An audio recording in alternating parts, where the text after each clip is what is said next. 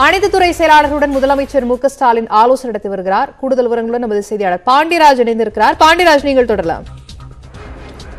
At least Chennai Kalaivanar அரங்கத்தில் முதலமைச்சர் மு க ஸ்டாலின் தலைமையில் அனைத்து துறை செயலாளர்களுடைய ஆலோசனை கூட்டமானது தற்போது துவங்கியிருக்கிறது கூட்டத்தில் நிதிநிலை அறிக்கையில் அறிவிக்கப்பட்டிருக்கக்கூடிய திட்டங்களினுடைய நிலை என்ன என்பது குறித்தும் அதே போல ஒவ்வொரு துறை வாரியாக அறிவிக்கப்பட்டுள்ள திட்டங்கள் மற்றும் செயல்படுத்தப்பட்டுக் கொண்டுள்ள பட்டுள்ள திட்டங்களினுடைய நிலை எந்த அளவில் உள்ளது மற்றும் செயல்படுத்தப்பட வேண்டிய திட்டங்கள் தொடர்பாகவும் அதே போல நடைமுறையில் இருக்கக்கூடிய திட்டங்கள் எப்போது முடிவடையும் என்பது குறித்த விரிவான ஆலோசனையை முதலமைச்சர் நடத்த உள்ளார் மேலும் துறை வாரியான திட்டப்பணிகள் மற்றும் வருங்காலத்தில் செயல்படுத்த வேண்டிய திட்டங்கள் குறித்தும் விரிவாக ஆய்வு நடத்த உள்ளார் மேலும் மிக முக்கியமாக வடகிழக்கு பருவமழையானது விரைவில் துவங்க உள்ள நிலையில் அது குறித்த ஒரு மிக முக்கியமான ஆலோசனையும் இந்த ஆலோசனை இடம்பெற இருக்கிறது. ஏற்கனவே கடந்த ஆண்டு திமுக அரசு பொறுப்பேற்றவுடன் சென்னை மாநகர் முழுவதுமே மழை வெள்ளத்தில் தத்தளித்தது. அதற்கு அடுத்தபடியாக குழு ஒன்று அமைக்கப்பட்டு அந்த குழுவினுடைய அடிப்படையில் அறிக்கை வழங்கப்பட்டது. அந்த அறிக்கையின் அடிப்படையில் பல்வேறு பணிகளானது சென்னை மாநகர் முழுவதுமே நடைபெற்று வருகிறது. கிட்டத்தட்ட வடகிழக்கு பருவமழை தொடங்குவதற்கு முன்பாக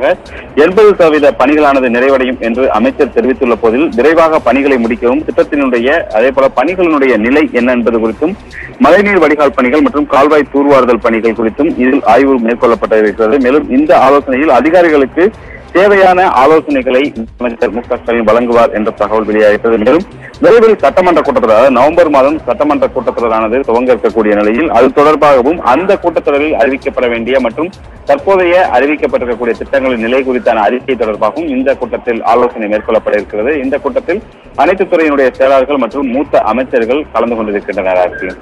விவரங்களை பதிவு செய்தமைக்கு நன்றி பாண்டிராஜ் மற்ற செய்திகள் இடைவேளைக்கு பிறகு.